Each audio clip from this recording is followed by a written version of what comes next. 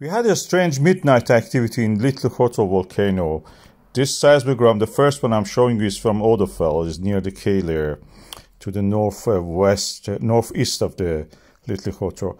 It shows up to the midnight. We had the blue line, which is the seismic activity, increasing. When it go, surpasses the purple line, we may have eruption. Uh, unfortunately, uh, it has stopped, it seems, and then went back to normal. We don't have the activity after the midnight on this chart, so we don't know what's happened.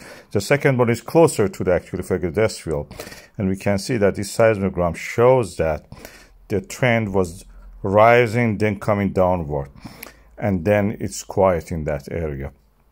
The weather is deteriorating, so we looked at the, um, you know, seismograms, we saw the effect of the wind in the land, actually in the ground, in the field, you can see that, and it got worse.